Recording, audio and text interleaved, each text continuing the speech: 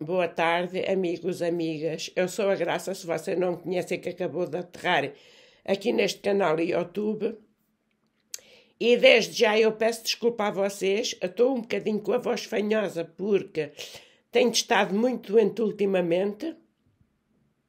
Já vai para mais de 15 dias que eu ando com tosse e muito constipada. Nós temos tido muito frio por aqui e se você estiver a ver este vídeo, quer dizer que eu consegui gravar até ao fim, porque não tenho conseguido gravar vídeos, que não tenho tido voz para isso, e a meio do meu discurso começa a tossir que nem uma doida, portanto não, isto não tem sido fácil. Vou tentar gravar este vídeo então para vocês. Eu hoje vou relatar o assassinato de um banqueiro muito, que era muito, muito, muito conhecido em toda a Europa, um dos mais famosos uma das grandes fortunas da França. Eu vou falar do, do assassinato do Eduard Stern, que, que se passou em Genebra, na Suíça. Quem é que era esse Eduard Stern? Portanto, ele fazia parte uh, dos banqueiros mais reputados do mundo. Ele já vinha de uma família uh, de linhagem de banqueiros, já desde o século XIX e em conjunto com uh, o Banco Lazar e os, e os Rothschild, fazem parte dos bancos mais importantes do século XX na Europa e na França. Portanto, o Eduard Stern era descrito como um homem agressivo em negócios, por vezes brutal, e por isso ele fez muitos inimigos no decorrer do seu percurso profissional chegou a ser acusado de lavagem de dinheiro e muitas vezes um, dinheiro que era desviado pelos oligarcas da máfia russa, que agora está um bocado. Fala-se mais no assunto. Desde que um, a Rússia invadiu a Ucrânia, uh, esses oligarcas, que os países europeus estão a bloquear o dinheiro deles, portanto, já na altura se falava que o Eduard Stern lavava dinheiro aos, aos oligarcas russos. Portanto, eu vou relatar esse, esse, esse crime que afinal surgiu de, das pessoas que menos se esperava. Vamos então uh, passar já ao que é que aconteceu. Portanto, como eu estava a relatar, o Eduardo Stern circulava entre a alta finança e a política, era amigo do presidente da França da altura, que era o Nicolas Sarkozy, ex-marido da filha do presidente do Banco Lazar, com quem teve três filhos, e o seu assassinato ficou envolto a um sórdido gosto pela sexualidade masoquista. Na realidade, uh, o muito conceituado banqueiro que gera as maiores fortunas do mundo, foi encontrado morto dentro de um fato em látex que ele usava para as sessões sadomasoquistas. A família, envergonhada quando isto aconteceu, pediu para que não se falasse muito nos detalhes sórdidos do dossiê, mas a forma como o corpo do banqueiro foi encontrado deu origem a um processo uh, muito mediatizado, com duas biografias publicadas em livros, quatro romances e dois telefilmes consagrados a este caso. Na realidade, Eduard Stern uh, vai se encontrar num jogo de sadomasoquismo.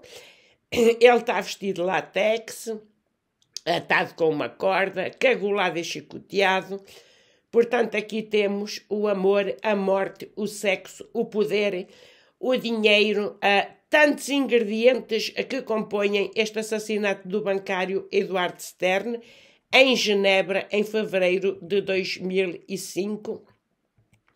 Assassinato, uh, assassinado num fato de látex com as mãos atrás das costas, aparentemente ele ter-se abandonado a um jogo sexual extremo mas o que se poderia concluir por uma grande sessão sadomasoquista suscitou mistério a interrogação. Em primeiro, vamos à personalidade da vítima.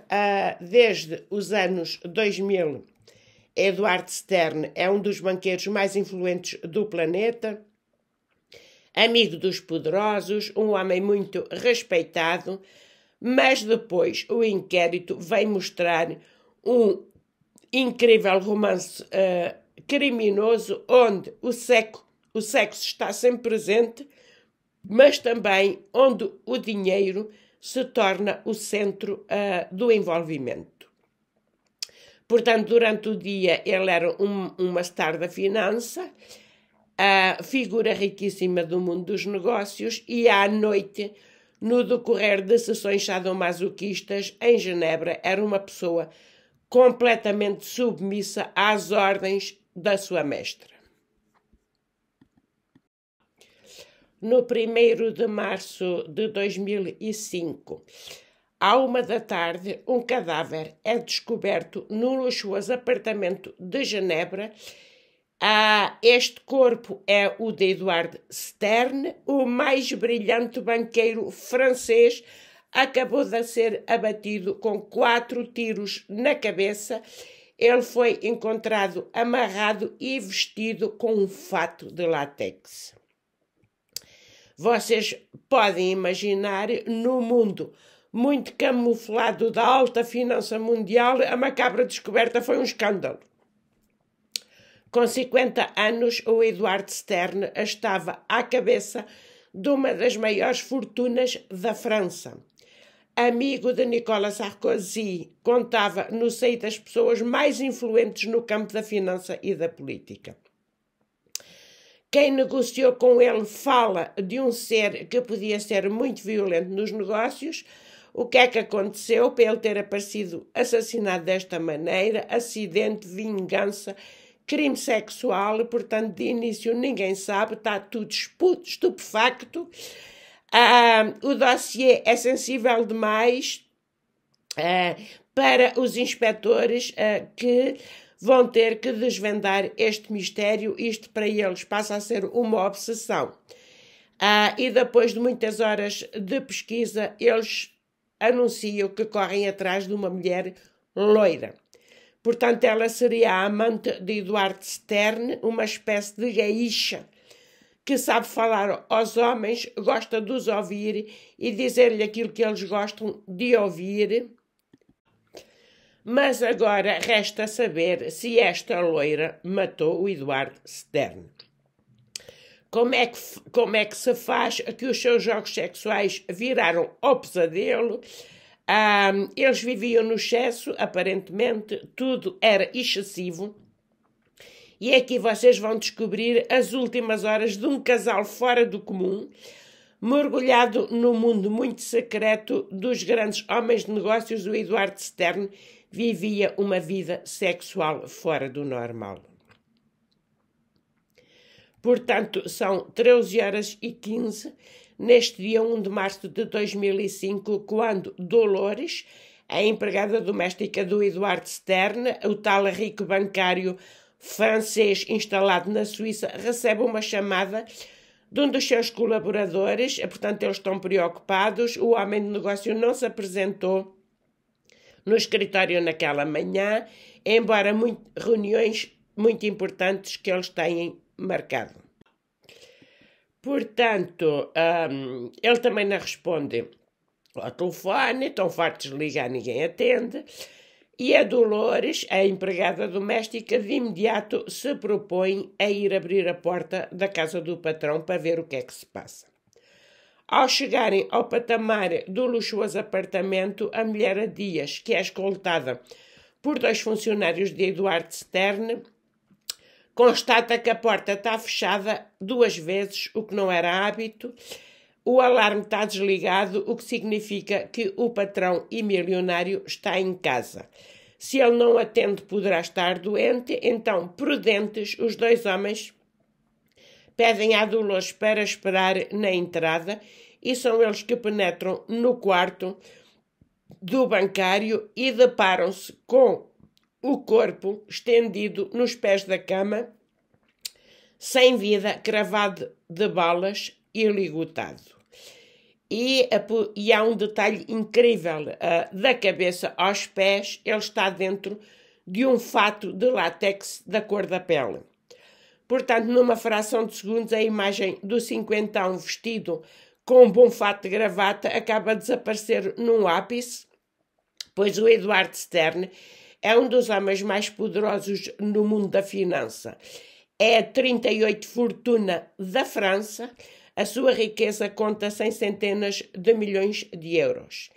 Amigo do presidente uh, da República de, da França da altura, que era o Nicolas Sarkozy, portanto, o Edward Stern levitava uh, entre o mundo da finança e o mundo da política, tinha uma influência incrível.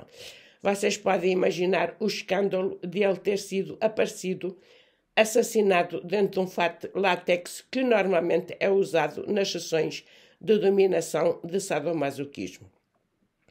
Portanto, o Eduardo Stern, a, a sua mãe é a esposa de um deputado muito importante francês, que era o Jean-Claude Servan Chabert, uh, e ele é divorciado de, da Beatrice David Huel, a filha do presidente do Banco Lazar, que vive em Nova York e que ambos tiveram três filhos.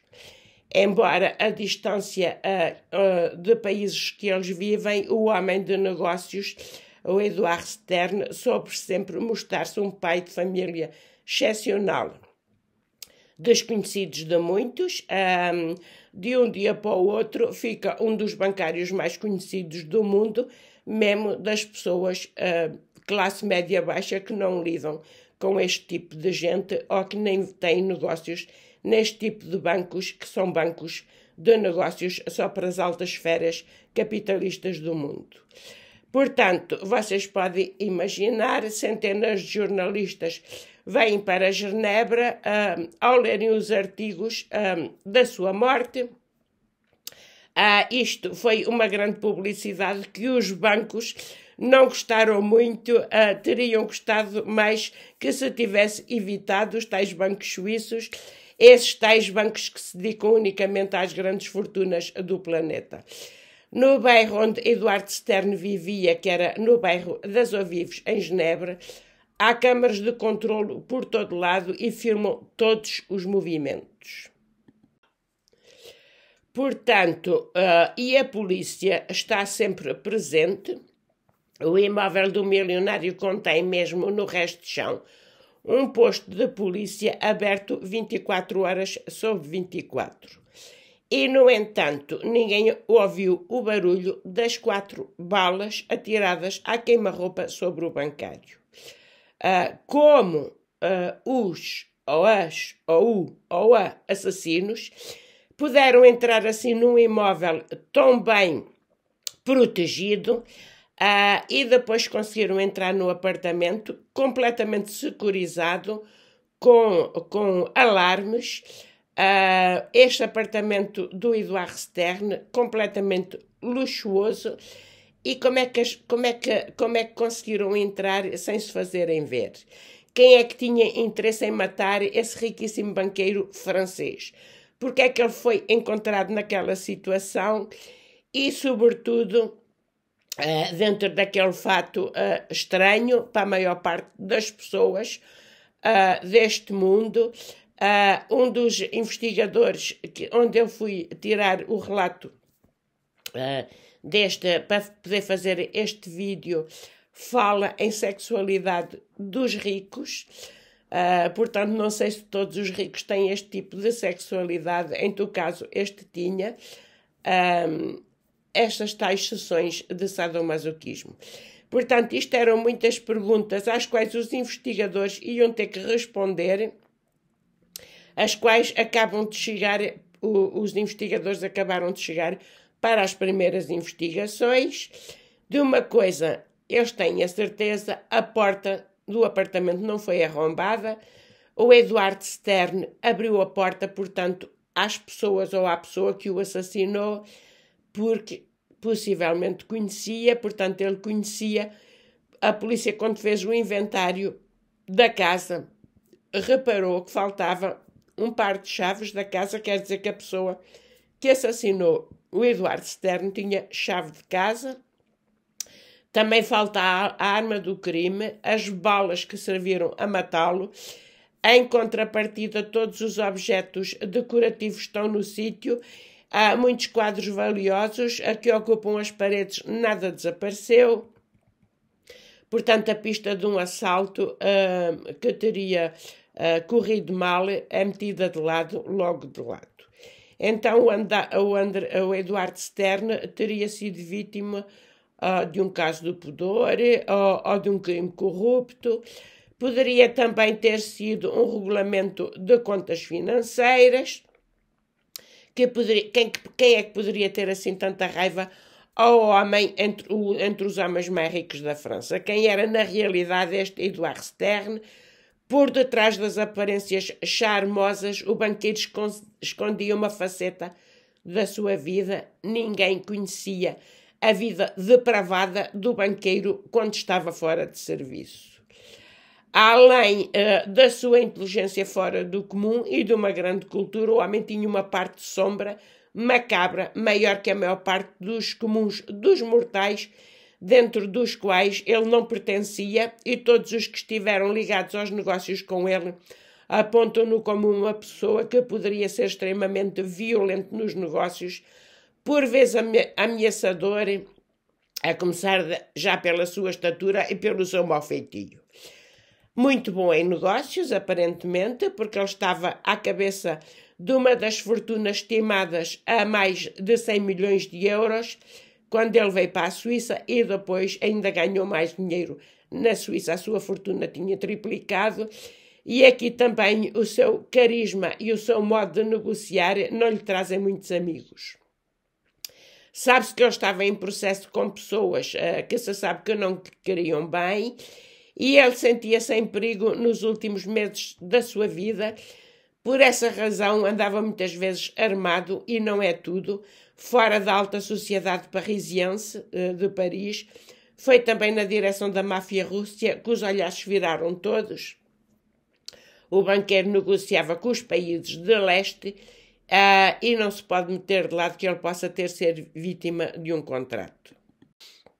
Mas a tese uh, faz rir o advogado da família externa, uh, que é um grande tenor da barra dos tribunais em Genebra, uh, quando um homem de poder morre nestas circunstâncias especiais, como foi o seu caso, todas as línguas se desatam, a comunicação social faz grandes títulos e a máfia vem alimentar esta tese de euforia quando se fala de dinheiro como também quando se fala de judeus, diz ele, pensa-se logo em muito dinheiro, mas o facto de ele estar dentro de um fato de látex um, usado em sessões sadomasoquistas mete de lado todas estas hipóteses.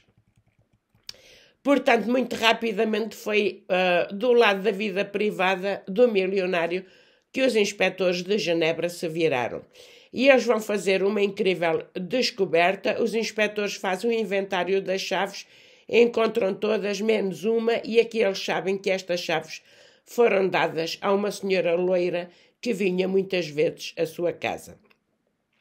E precisamente é ela que se vê nas imagens das câmaras de controle do parking de Edward Stern às 20 horas e depois às 21 horas no 28 de fevereiro de 2005. No dia anterior da macabra descoberta, muita coincidência, foi precisamente a partir dessa hora. Mais ninguém conseguiu contactar o banqueiro. Quem é que é esta desconhecida do parking? Portanto, os inspectores começam a investigar e muito rapidamente eles sabem, sabem que ela se chama Cécile Brossard. E é sobre ela que se vira a investigação. Enquanto esperam uh, de a interrogar, os inspectores tentam saber quem é esta mulher que a família do banqueiro nunca ouviu falar. Cécile Brossard tem 35 anos, é francesa, navega entre Paris e Montreux, onde vive aparentemente com o seu marido. A Cécile Brossard uh, teve uma vida difícil, a sua mãe sofria de problemas psiquiátricos ficava muitas vezes hospitalizada, portanto, a Cecília teve que ajudar a criar os irmãos. Assim que acabou a escolaridade obrigatória, ela foi para a Inglaterra trabalhar, tomou conta de crianças, trabalhou num pub, trabalhou numa loja de artigos para casa. Eh, é uma pessoa pouco culta, uh, e teve um percurso de vida aparentemente caótico, mas isto nunca a impediu de ser ambiciosa. Portanto, é uma mulher alegre, desenrascada, bonita e que sabe tirar partido do seu charme para subir na escala social.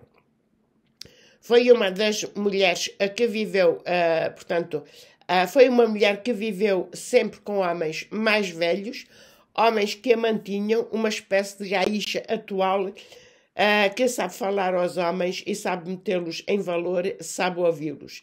E, e eles gostam disso. Portanto, foi em 2001, no decorrer de um jantar organizado por um galerista parisiense, que Cécile Brossard é apresentada a Eduard Stern. A bonita loira agrada de imediato ao banqueiro milionário. Eduard Stern fica desconcertado pelo natural de Cécile Brossard. Ah, ele estava habituado a encontrar pessoas que se valorizam. E eis que surge esta mulher que se mostra natural, uh, que brinca com ele de igual a igual, e ele sentiu-se divertido, uh, desconcertado, e ela muito rapidamente entrou numa espécie de mecanismo do príncipe charmante, e foi assim que o seu relacionamento se foi acentuando. Visto o percurso de um e do outro, a hipótese que eles tinham de se encontrar seria muito reduzida, e, no entanto, foi uma paixão fulgurante que os vai invadir ao ponto de se telefonarem constantemente. Enviavam-se todos os dias dezenas de e-mails. Cecil só vivia para o homem que ela amava, a sua vida limitava-se a Eduard. Ela passava os dias a pensar no Eduardo, a escrever ao Eduardo, a telefonar ao Eduardo. Só isto contava era uma autêntica obsessão, mas para lá dos sentimentos é sobretudo o sexo que os liga. A Cecil vai iniciar Eduard a jogos sexuais uh, que ele não conhece, nomeadamente o látex, as sessões sadomasoquistas, sexo em grupo, etc. Uma forma diferente para este homem que nada mais o consegue divertir. É um homem que vive numa constante infelicidade e stress. Agora resta saber se os seus jogos sexuais foram longe demais. Cecil Brossard atirou quatro vezes sobre o seu amante. Porquê? Porque é que ela o abateu friamente, sobretudo este homem que ela diz que amava loucamente.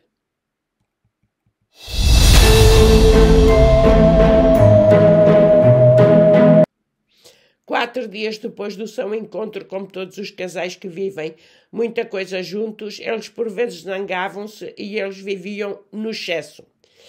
Entre eles, tudo era excesso. Eduardo Stern alterava manifestações de carinho com momentos de desvalorização e de desprezo, portanto, era o quente e o frio permanente, mas o que faz mais sofrer a Cecília é a humilhação que o milionário a faz sentir.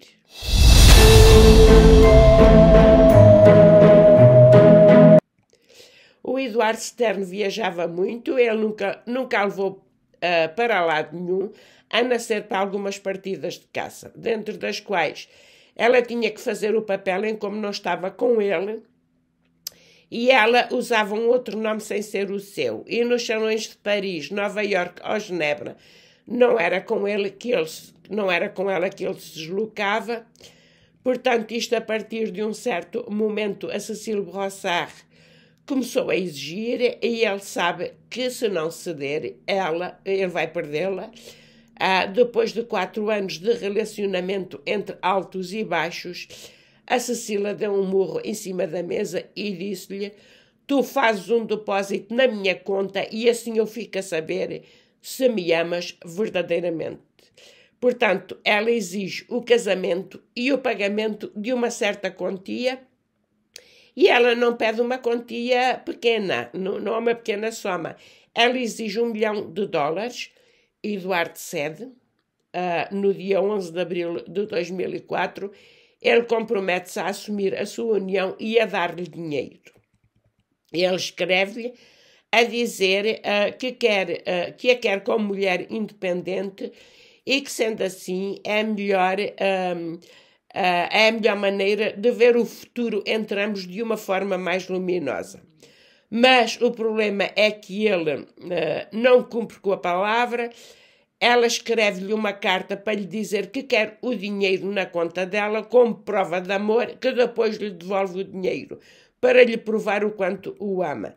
E foi quando ele recebeu esta carta que ela se compromete a devolver que ele deposita um milhão de dólares na conta dela. Uh, foi no dia 12 de janeiro de 2005 que o um milhão de dólares entrou na conta da Cecile Brossard, uma conta que ela tinha no banco Credit Suisse. Mas a prova de amor que ela lhe havia prometido não aconteceu. A Cecile decidiu não lhe devolver o dinheiro e desapareceu e deixou de responder ao telefone. Portanto, o Eduardo Stern ficou furioso. Uh, este milhão de dólares, que devia ser uma forma de compromisso do seu relacionamento futuro, ela desaparece. Eduardo Stern sente-se enganado, revoltado, ele manda bloquear o seu milhão de dólares. Ah, e o início deste drama anda à volta deste milhão de euros que está na conta de Cecília, mas que o Eduardo Stern conseguiu bloquear. Ah, ninguém sabe como. Ela sabe que o dinheiro foi bloqueado, mas ela não sabe quais foram os argumentos que ele utilizou para conseguir isso. Mas este gesto vai-lhe ser fatal. Uma vez mais, Eduardo Stern conseguiu mostrar-lhe que era o mestre da situação e que ela só o dominava na parte sexual à noite em casa, uh, uh, quando ele uh, se submetia a sessões de sadomasoquismo, porque era um homem completamente infeliz na sua vida privada e sexual.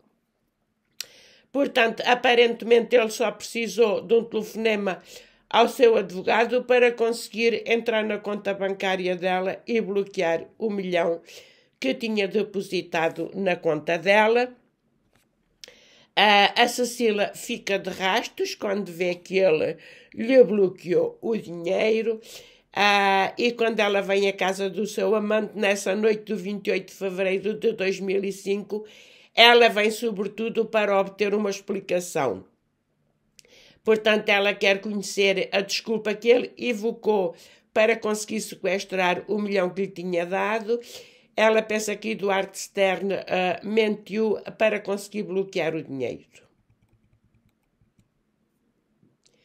Eduardo Stern poderia muito bem ter feito passar Cecília por uma ladrona, contando ao seu advogado que ela o havia enganado, mas esta parte ele nunca lhe vai dizer. Ah, e, portanto, e ele, quando ela chega, como uma criança que se faz apanhar em flagrante delito, o Eduardo Stern deixa-se embalar por uma sessão de dominação e ela vai puni-lo. E ele gosta disso. Ela trouxe com ela o seu saco azul, com uma carrada de apetrechos sexuais, botas de cano alto, chicotes ah, e outros objetos sexuais que servem para ah, o sodomizar. Ah, no seu quarto, o milionário enfia o seu fato de látex e espera as ordens. Sentado em frente à sua cama, ele deixa-se atar, deixa-se humilhar. De repente, um acontecimento vem perturbar este encontro sexual. Eduardo Stern deixa escapar uma frase que enfurece Cecília. Para ela, ela disse mais tarde que foi insuportável. Ele disse-lhe: um milhão é caro demais para uma puta. Para Cecília Brossard, tantas vezes humilhada, esta frase foi demais.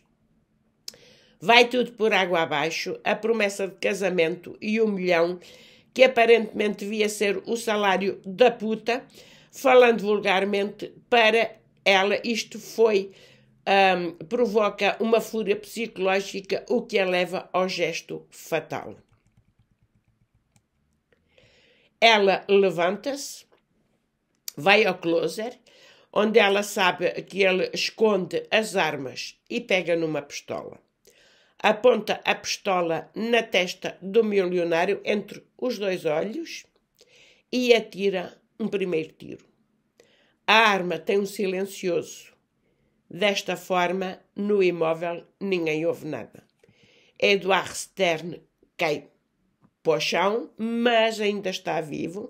A Cecile Brossard atira mais três vezes, acabando por o matar com, uma, com um último tiro na testa. Depois ela cai de joelhos, com a cabeça entre as mãos, até se conseguir voltar a si. Uh, sem se deixar abater, ela apanha tudo o que pode, uh, os invólucros das balas, as latas de cerveja que eles beberam antes e os acessórios todos do sadomasoquismo. Ela enfia a arma do crime num saco branco, fecha as persianas e a porta com duas voltas na fechadura. E quando o seu carro passa a porta cinzenta do parking, as câmaras de controlo indicam 21 horas e 15. Portanto, ela precisou apenas de uma hora para cometer o seu crime. E apenas mais uma hora para organizar a fuga.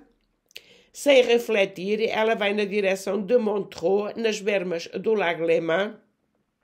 Vai ter como marido Xavier Gillet e pelo caminho ela telefona-lhe para lhe dizer que algo de grave se passou. Ela pede-lhe para reservar um bilhete de comboio para Milão e depois uma ida simples para a Austrália. Em Montreux, ela desaparece com a arma do crime, atira para o lago e, quando entra na sua casa a chorar, ela conta ao marido, ou seja, ela diz-lhe que encontrou Eduardo Stern morto cravado de balas, e ela diz-lhe: se eu não for para mais longe possível, vão-me acusar, diz ela ao marido. Ela tenta apanhar o último comboio para Milão, que parte às 23h40. Daqui ela pensa ir para a Austrália.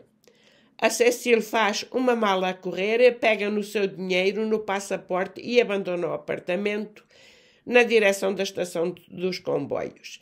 Na estação de comboios, ela despacha-se do saco azul, aquele saco que contém todos os objetos sexuais.